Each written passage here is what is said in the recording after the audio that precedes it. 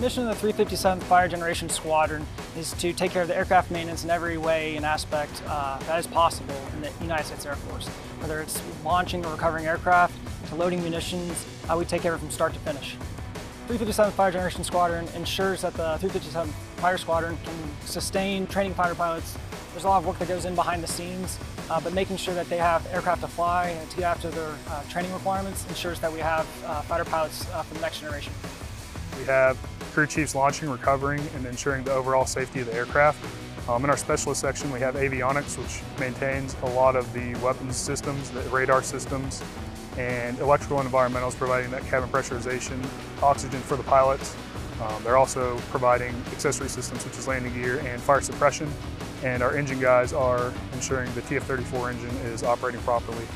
Uh, we also have weapons section, which is ensuring the armament and dearmament of aircraft, loading bombs, loading ammo.